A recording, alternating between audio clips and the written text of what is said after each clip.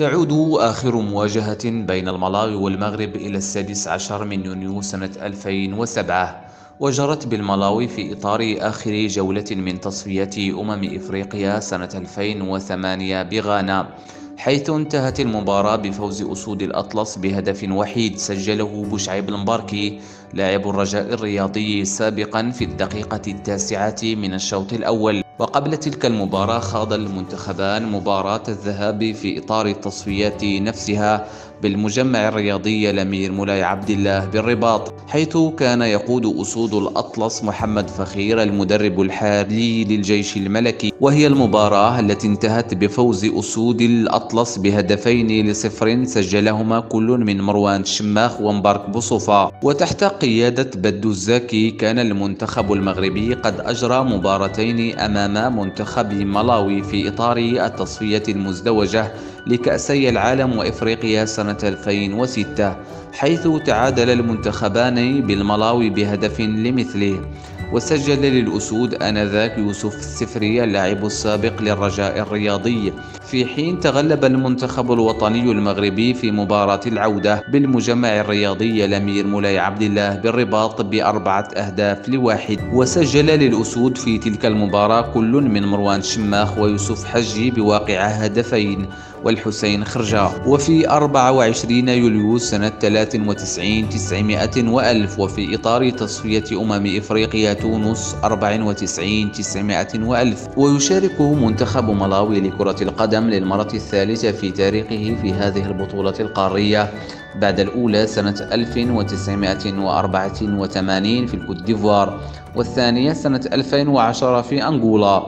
في أول مشاركة له في النهائيات القارية سنة 84 900 وألف خرج المنتخب الملاوي في الدور الأول بعد احتلاله المركز الأخير في المجموعة الثانية برصيد نقطة واحدة.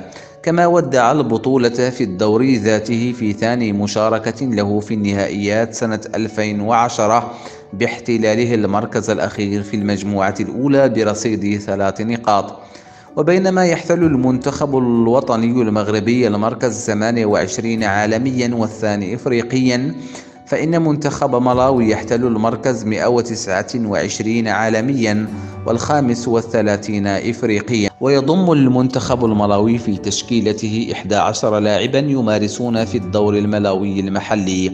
وخمس لاعبين محترفين في الدور الجنوب الإفريقي ولاعب واحد محترف في الدور الروماني وآخر يلعب في الدور الجورجي. ويشرف على تدريب المنتخب الملاوي المدرب الروماني ماريو مارينكا. وقد عين في المنصب مؤقتا في السادس من شهر دجنبر 2021 بهدف قيادة المنتخب في نهائيات كأس أمم إفريقيا كان الكاميرون. وتأهل منتخب ملاوي إلى الدور الثاني في نهائيات كأس الأمم الإفريقية الحالية.